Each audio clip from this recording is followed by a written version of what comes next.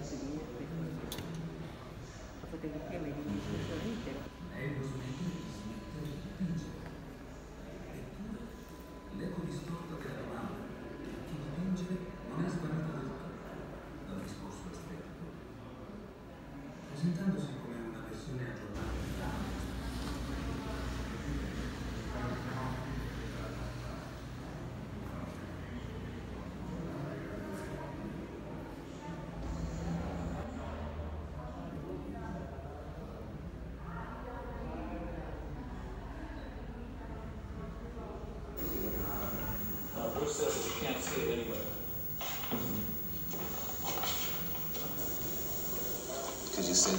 Bruce was part of this piece?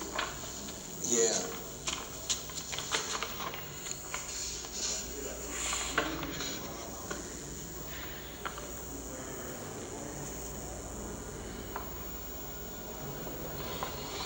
You know he knows how to do it. Mm-hmm. Why do you think we have an interpreter for Bruce? Gee whiz. That's your business to know. I don't know that kind of thing. Oh, that's neat. Isn't it nice? Yeah.